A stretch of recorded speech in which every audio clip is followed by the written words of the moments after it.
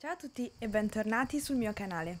Oggi vorrei parlarvi della forma di cortesia in italiano, ovvero di quando si deve dare del lei in opposizione a dare del tu. La forma di cortesia è molto importante nella lingua italiana perché è molto utilizzata dai parlanti nativi.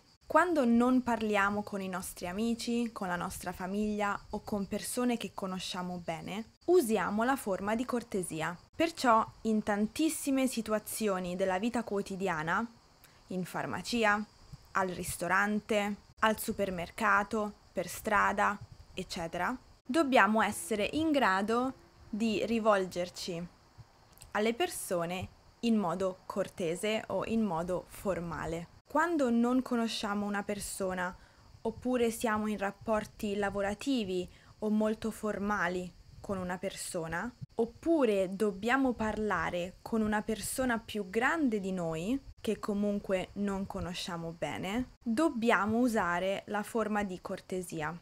Dobbiamo dare del lei, altrimenti rischiamo di essere maleducati.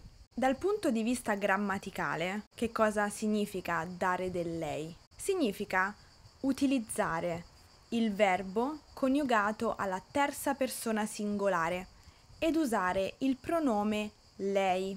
Distinguiamo il lei della forma di cortesia da un pronome soggetto lei che si riferisce ad una donna utilizzando la L maiuscola per il pronome di cortesia. Non importa se la persona con cui parliamo è un uomo o una donna. Per dare del lei a qualcuno bisogna usare il pronome lei al singolare. Al plurale si deve usare il corrispettivo della terza persona singolare, quindi dobbiamo usare la terza persona plurale, loro. Facciamo degli esempi. Dando del tu a una persona, chiederei Vuoi un caffè? Dando del lei ad una persona, chiederei Vuole un caffè? Facciamo lo stesso esempio al plurale. Con la forma informale chiederei Volete un caffè? Mentre alla forma formale chiederei Vogliono un caffè? In questo caso si aggiunge anche la parola i signori o le signore. Quindi i signori vogliono un caffè o le signore vogliono un caffè?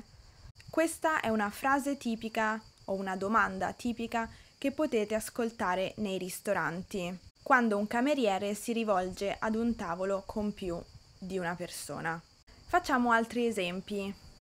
Perché non compri questo romanzo? Perché non compra questo romanzo? Perché non comprate questo romanzo? Perché non comprano questo romanzo? Prendi un biscotto. Prenda un biscotto. Prendete un biscotto. Prendano un biscotto. Nelle ultime due coppie di esempi vediamo che l'intenzione comunicativa è quella dell'esortazione a fare qualcosa. Quindi si invita qualcuno a fare qualcosa, che è l'intenzione comunicativa propria del modo imperativo. Mentre vediamo che la coniugazione verbale delle frasi formali è propria del modo congiuntivo, tempo presente. Questo perché formalmente la terza persona singolare e la terza persona plurale del modo imperativo tempo presente non esistono e quindi dobbiamo prendere in prestito le coniugazioni da un altro modo. Il modo prescelto è il congiuntivo. Vorrei aggiungere qualcosa riguardo alla forma di cortesia plurale. Bisogna dire che la forma cortese plurale, loro, non è molto usata nell'italiano contemporaneo ed è destinato ad ambienti e contesti molto formali. Quindi potreste sentire qualcuno che si rivolge ad un gruppo di persone che non conosce semplicemente con il pronome voi, quindi coniugando il verbo alla seconda persona plurale. Questo dipende molto dal contesto e dalle persone coinvolte nella situazione comunicativa, però potrebbe succedere. Questo è tutto per oggi.